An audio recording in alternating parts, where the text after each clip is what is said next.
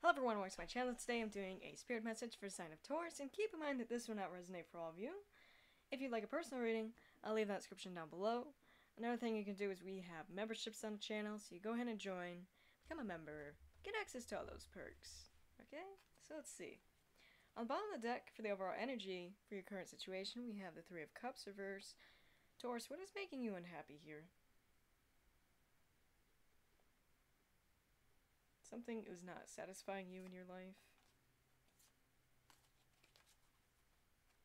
It be a person, a multitude of different things, because it's going to be different for all of you on exactly what that is. But we have the High Priestess, that is Pisces energy.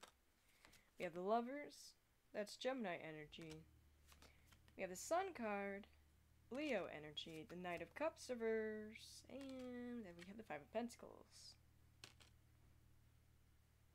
Taurus, I see you releasing that which makes you unhappy, which makes you feel unhappy, basically. Like you letting go of that, you moving away from it, and I see you moving towards your goals, your dreams, other things that make you happy, other people that make you happy, places that make you happy.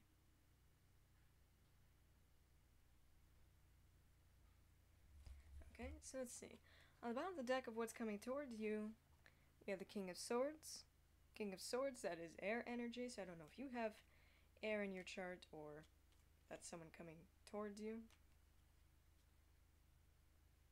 Towards the, the energy I get from you is I don't really see you letting anybody bother you anymore. Feels like you're moving away from things that make you unhappy, as I said. And it feels like you're you're you're kind of like focusing on you what makes you happy. You're not letting other people disturb you or other things disturb you. Okay, so let's see. We have the Knight of Pentacles, Five of Pentacles,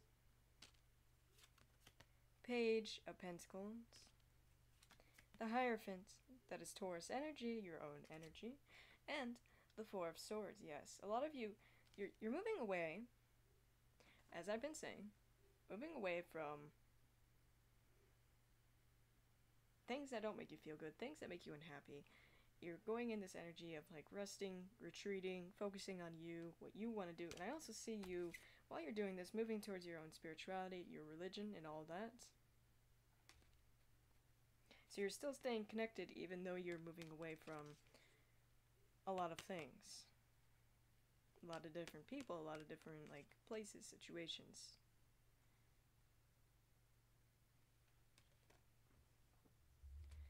So let's see.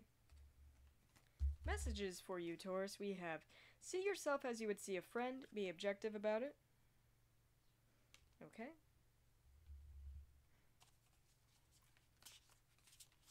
Number 26, The Beautiful Place. Taurus, what this talks about is you have a dream here. Obviously, you have a goal. Something you want to do. And you will achieve that goal, but that's something you have to take the step towards.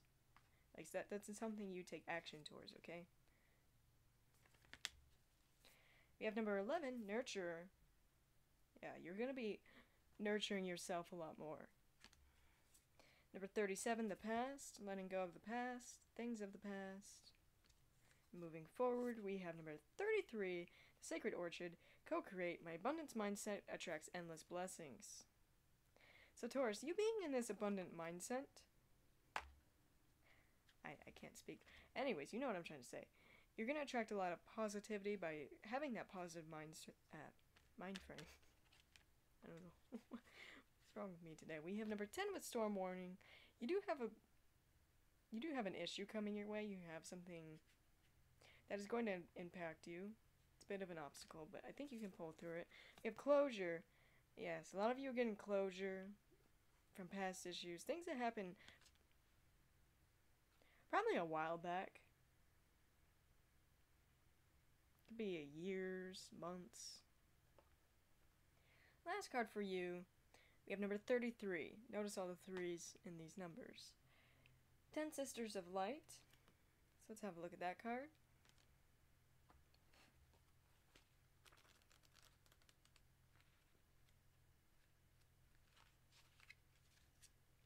You are an advanced soul and have lived many incarnations, shown your light through your many, many different faces. Your soul has learned many skills in past lives, developed abilities and talents. This lifetime is a culminating lifetime in the sense that your soul is drawing together potencies developed over many lifetimes into unified expression. It is like drawing on the power of the ten sisters or more into your current one lifetime. Be prepared to grow and shine, beloved. Ooh, look at you. Taurus, you have lived many lifetimes.